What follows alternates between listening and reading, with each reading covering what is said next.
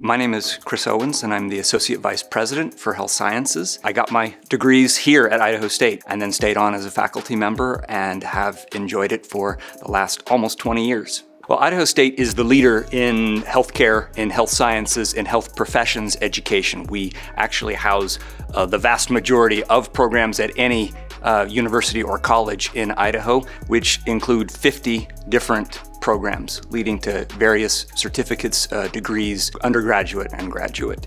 Degrees like pharmacy and nursing and physical and occupational therapy. The Bachelor of Science in Health Science is that entry level where you come in, you take courses in Introduction to the Health Professions, to evidence-based practice and research.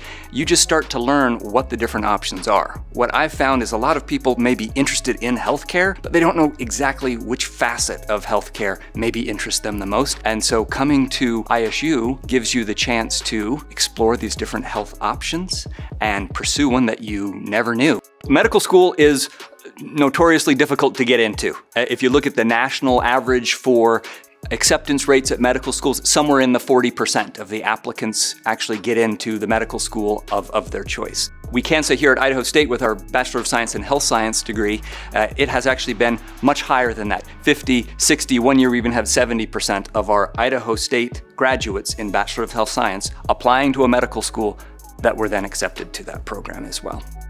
You've made an excellent choice when it comes to a career in healthcare. It's one that will be both personally and professionally rewarding to you. It enjoys good compensation in terms of, of pay and lifestyle, and most of all, you'll have a chance every day to do something meaningful that actually helps people in their daily lives.